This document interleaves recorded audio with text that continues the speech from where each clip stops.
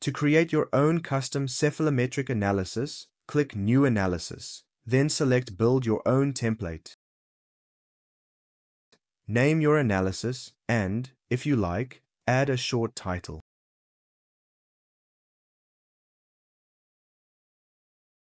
Click the drop-down arrows to reveal the list of variables under each heading or select an entire group by checking the main box.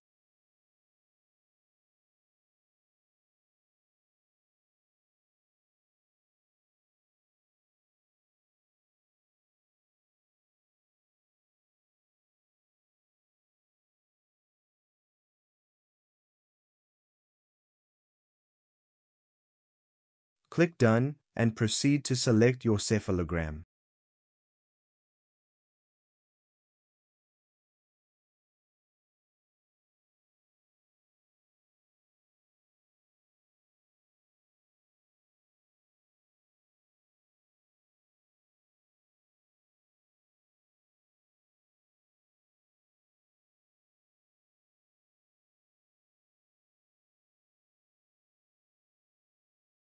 Calibrate the cephalogram as usual, then view the results.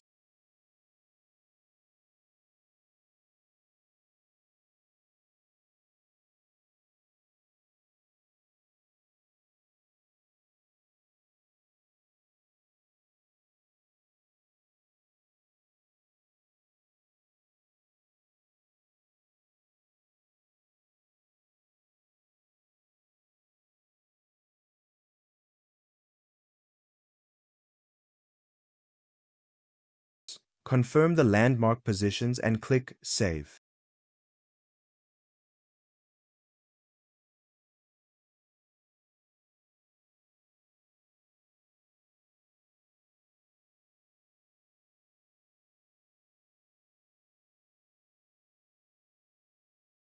You can save it as a new patient or to an existing folder.